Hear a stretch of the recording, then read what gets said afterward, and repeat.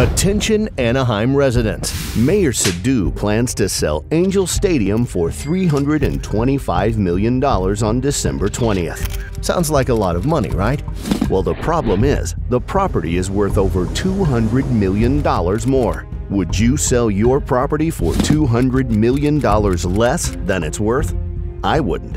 So Mayor Sidhu and his clown car of council member enablers such as Steve Faessel, Lucille Kring, Jordan Brandman, and Trevor O'Neil want to not only give our stadium away for $200 million less than it's worth, but guess what? Instead of putting Anaheim first, they're putting billionaire Arte Moreno first, and the team will still be called the Los Angeles Angels. Talk about disrespectful. Help stop this massive giveaway and put Anaheim first by emailing the Anaheim City Council before they vote on December 20th at lday at anaheim.net.